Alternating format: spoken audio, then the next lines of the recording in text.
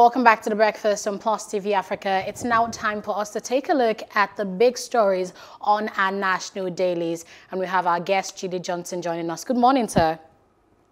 Good morning. It's a pleasure to be with you. And good morning to good morning to all our viewers all over the world. Good morning.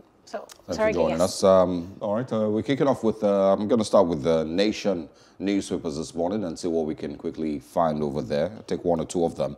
Um, in Kogi State, we had a conversation about this yesterday, the PTF versus Kogi State, but it's up there. It says how we are fighting COVID-19 by Kogi government. Also, uh, one story that a lot of Nigerians are not going to be happy to hear. It says petrol price likely to rise with fr um, freight hike. Uh, government and labor in talks. Uh, APC members' uh, resignation or registration, sorry, legal. Buni replies Akande. Maina's son Faisal flees to the U uh, U.S. EFCC tells court. The big one there, governors move to douse rising tension over headers. Uh, Uzodimma, Bagudu, and Badaru meet with Ohanaeze, Mietiala, others. North helmsman El caution against escalating violence. Also, NN, uh, NLNG paid uh, 3 billion or 35 billion dollars uh, dividend from uh, 108 billion dollars uh, income. Domestic credits rise by 774.28 billion naira. That's also on the nation. A few others, 2023 election, INEC plans new 57,023 polling units. And lawyers fault Buhari's extension of police IG Adamu's tenure. Uh, the last one, Olonisakin, Buratai, and others tipped as ambassadors as the three Yahoo boys are jailed. Jide Johnson, there's so much. Um, I don't know which uh, two you would like to quickly jump on with. Well, I, think we should start with governors' move to doubt detention over headers. How do they justify the security vote they collect if issues have to escalate to this level and they are just making move to doubt detention? I don't know how often the governors call the State Security Council meeting, which involves the governor, all the security agency, head of security agencies, and military formations in their state. Um, a stitch in time since nine. I think if the governors have really done their job as the chief security officer of the state, they've done the right thing. We shouldn't get to the issue of having tensions with, with the the headers. And the other story I want to talk about is the uh, how we are fighting COVID-19 is the hypocrisy of the Kogi State government that um, is fighting COVID-19. Someone that has lived in in, in, in self-denial concerning COVID-19 is not saying that he's fighting COVID-19. Um, he's not fighting anything. He's just saying statement which I think the media shouldn't have reported in the first instance.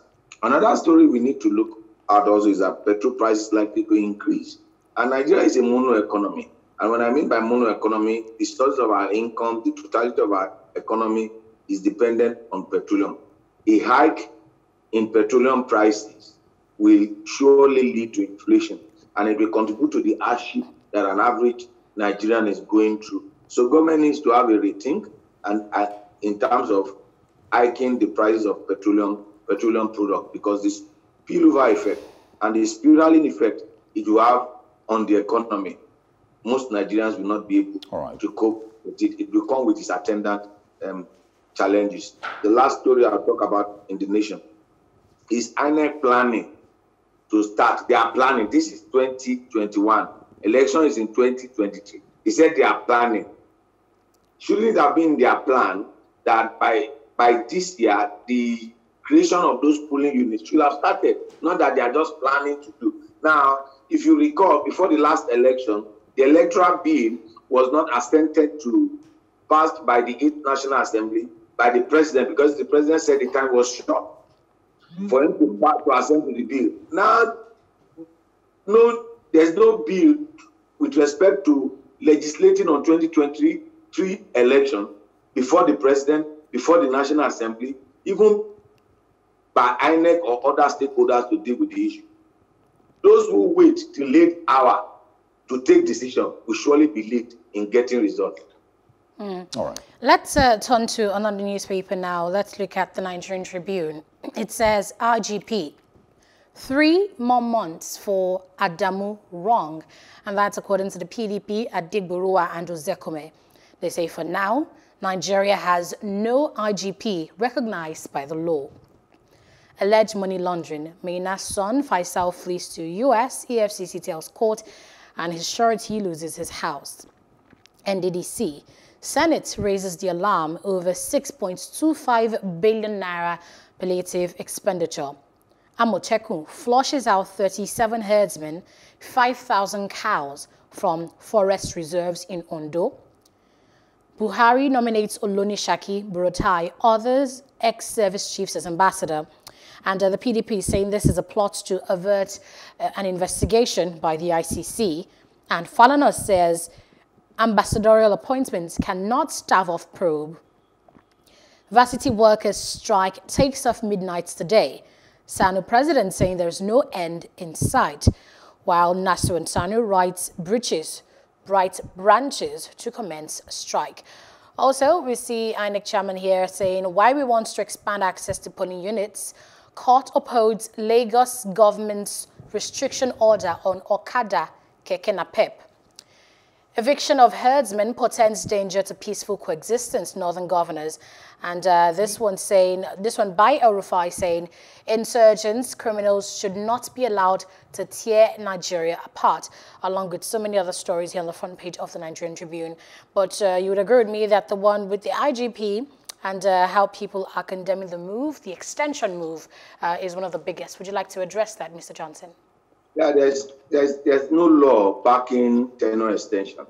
It's like the National Assembly coming up to make law saying that at the expiration of the president's second term, which marks the end of his tenure in May 29, 2023, that they, they will extend the tenure of the president by six months. It's an illegality. Nobody knew. It's because our institutions are a bit are a bit weak. If anybody should go to court and challenge this a decision, you know that this is an, um, an illegal decision by the president because the president does not mean president operates within the framework of the law and that you are the president, you are not given the liberty or the right to operate outside the framework of, of the law. And then what a tepid excuse by the president that the president needs three months to to to to to, to pick the successor. So if on the issue of IG, if you take, take the it will take the president three months to take just a simple decision.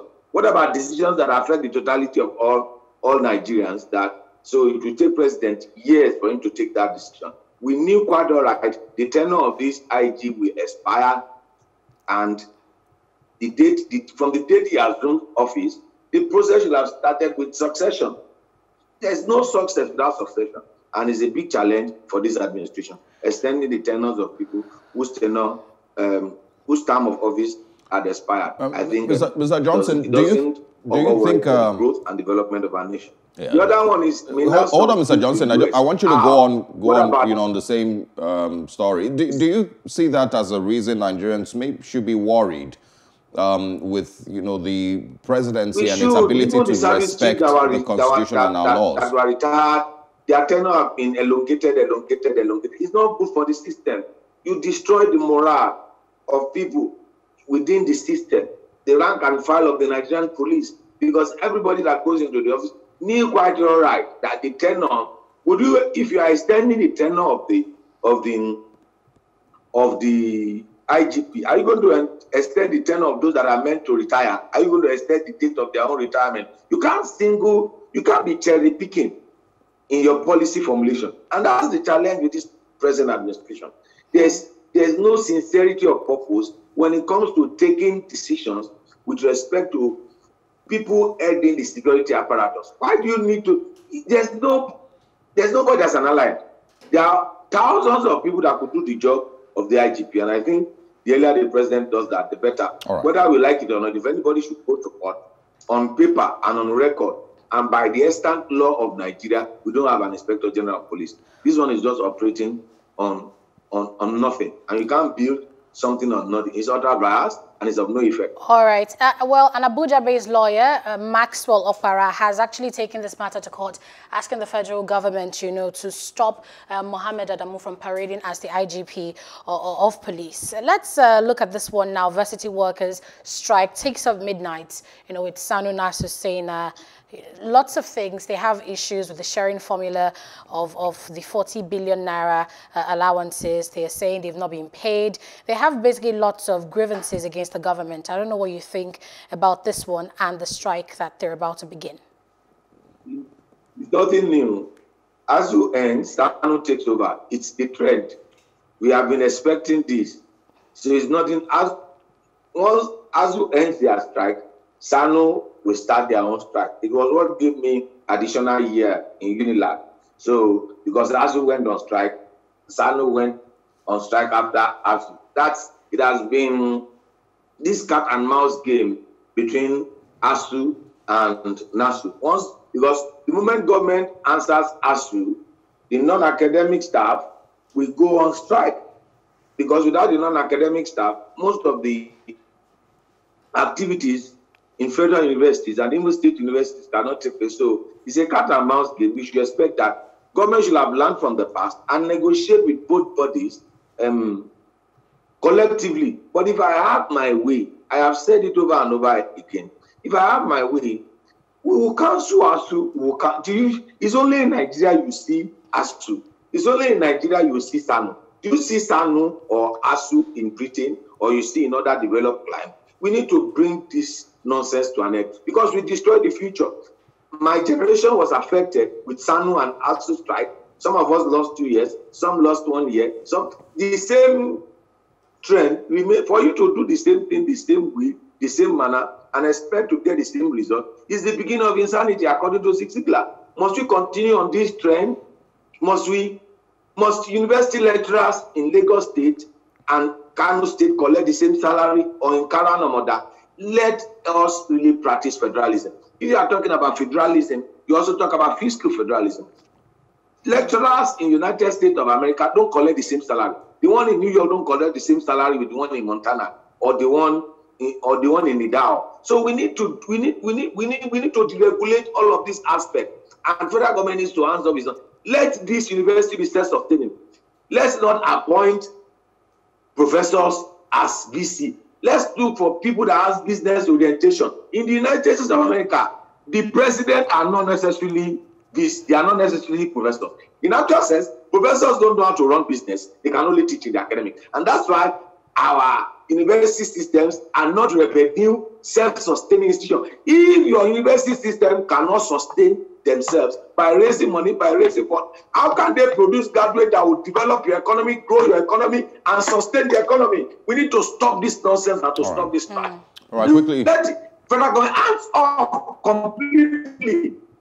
They should, they should, they should get involved is giving them infrastructure. Outside of infrastructure, salaries, the running of the institution, please tell about this nonsense that will come strike. Academic session have been cancelled. In our own set, academic session was cancelled. My colleagues that went to school together graduated in 1994, while those of us that were in Unila graduated in 1995.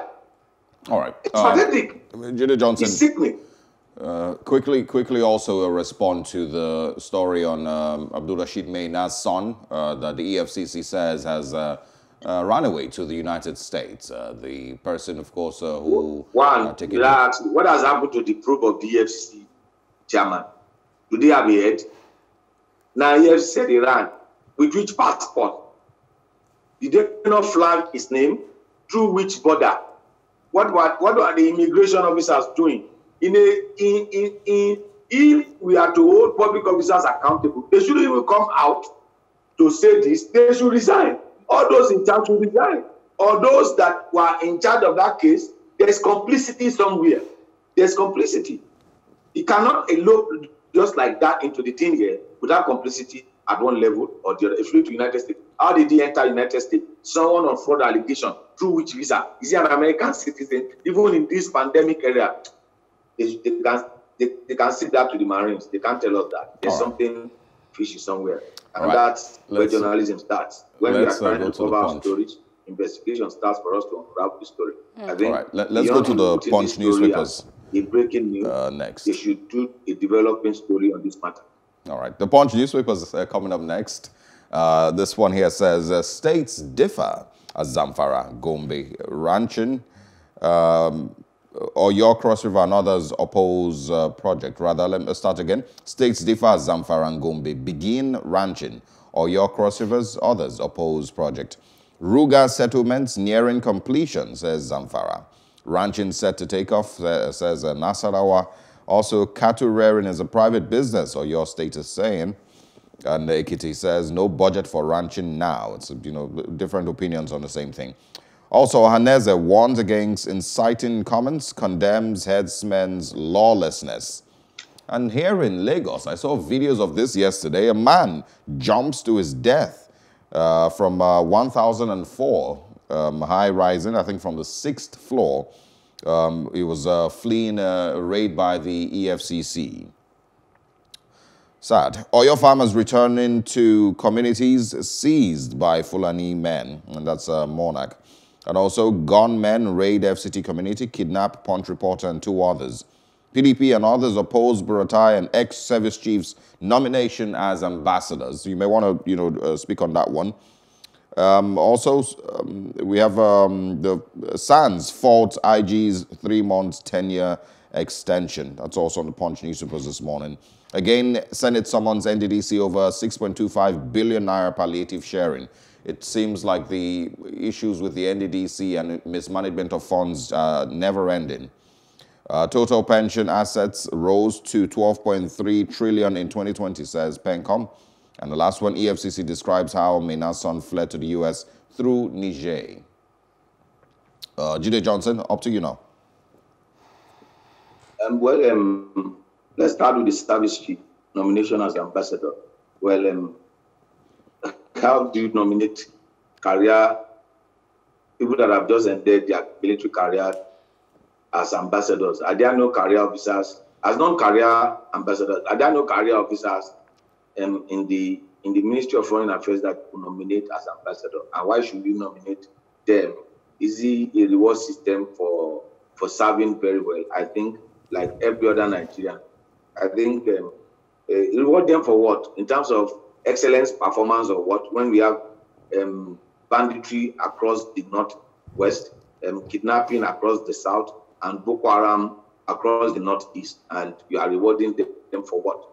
I, I, I totally frown against against that. Now, the issue of state different on ranching, Zamfara and Gombe, like most advocates have said, Zamfara cattle rearing is a personal business. It's not a state business. It's not. Why is the federal government and northern governors so keen? But if you go to the underlying factor, you discover that majority of the people that own these cows are, are, are, are, are top politicians and the elites in the Nigerian society. I have asked this question, and this is the question the southern governors should throw to the northern governors. Can any northern state provide me with a land to raise pigs?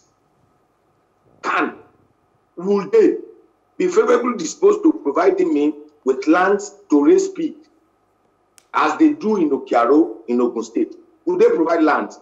They will say it's against their culture. They will say it's against their religion. Despite the fact that there are some parts of this country that eat pigs. So this particular issue on it should be something that government should leave for private individual to deal with. You do you create um, water zones for fishermen or for people that raise new, or do you provide lands for people that are into farming? If you want to go to farm, you look for your private land and then you do your farming. Uh, animal husbandry is just a key component of, of the agricultural sector. It's just a subsector. So why is government so keen about? Is there anything other than just um, this. So that's my take. I don't think that we should be wasting our time, wasting state resources that are not even enough to provide infrastructural backbone that will lead to the development of all sector just for a subsector in the agrarian sector. Finally, on uh, the I, am totally finally speak on the now, ND, NDDC um, issue. Another 6.25 billion naira palliative sharing uh, uh, what has probe. happened? Because on that note, you want me to off the mic, and I'm going to off the mic because we have not seen to the end of the up the mic. We have not seen the end to it. And we have not seen the end to the proof of um, of um, as the EFCC as the EFCC acting chairman. We have not seen to the end of the NDDC probe. You see, it's just in a cycle. I hope um, that Nigerians will ask this question come 2023 because this particular issue, they've asked us to off the mic, but you want to on the mic. But on that note, I'm going to off the mic because we have as not long seen as the end. as long as you don't faint, we're, we're, yeah, exactly, we're we're good to go. Thank you very much, Steve Johnson, for your time and analysis The on the breakfast this morning. Have a great day. And you too. All right, uh, it's, it's, it's pretty interesting. Welcome to Nigeria, where you know issues like this, you know, the people involved turn it to national drama. I watched uh, something on TV the other day. This TV station was putting out a list of all the politicians that have fainted in court or have showed up with or exactly. It's or, just hilarious. it seems everybody went to theater school Yeah. and uh, found themselves somehow even in, came, in came with, politics. a, with an uh, infusion uh, one time on the hospital bed uh, to court. It's it's there's uh, the one who also jumped from a moving vehicle uh, at some point. It's probably even the same person. But I mean, so the thing you know that we, we shouldn't you know always push aside is the fact that I it starts to seem like a lot of these stories just show up um, to excite you know Nigerians and to create conversations across the country because in the end you never uh, well there's no end you never get to see the end of any of these probes any of these summons you never get to see anybody found guilty of mismanaging billions of naira we're talking 6.25 billion naira for palliatives now by the NDDC once again. You would never get to see the end of this story. It, it, might not even be in the headlines in two weeks. Um, and neither will anybody be, be sent to, to jail. And so when we talk about fighting corruption, I feel it's just, you know, words, you know, statements, news headlines that we just throw out there to make it seem like there's some action being taken. But it's, it doesn't feel in any way like anything changes or anything is done. Yeah, just reminds me of what I mentioned yesterday about us needing a leader that would actually put his or her feet on the ground and take action and not just speak words, you know, to, to make us feel good. But the challenge with that is we don't need a leader to do that. We need institutions. We need we need a structure. We need to have a system that actually works. When you say you need a leader that would put his foot in there and make sure things work, it, it, that sounds like a dictator. That But sounds like institutions who, are run by people. So if we have people who have that sense of purpose, that value for integrity and things like that, Yeah. then everything will begin to work. Absolutely, but you know, but not one person. Not one person. Yeah, let, let it be um, a Yes. system. Let it be an institution that works. Anyway, we'll take a short break. When we come back, we're telling you what happened today in history: the murder of a um, leader of the NAACP um, back then in 1963. Um, would, um, of course, uh, a follow up to that murder and a person who was eventually found guilty, and then also the impeachment of a president. Stay with us.